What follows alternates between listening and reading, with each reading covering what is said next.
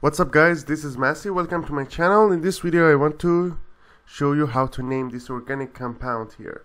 As you see here we have cyclobutane and we have chlorine here and we have methyl and it's connected with oxygen atom. So it means that we are dealing with an ether because we have methyl here and we have another alkyl group here and they are connected with oxygen.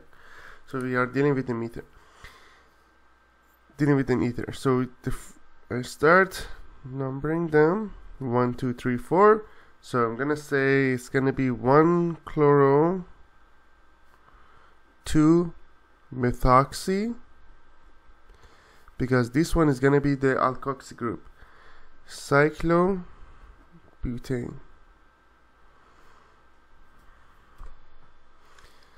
So that's gonna be the name of this organic compound. One chloro, two methoxy, cyclobutane. I hope you enjoyed this video. Please leave me a comment if you have any question and I'll get back to you as soon as possible. If you found this video useful, please like this video. Thank you for watching and have a great day.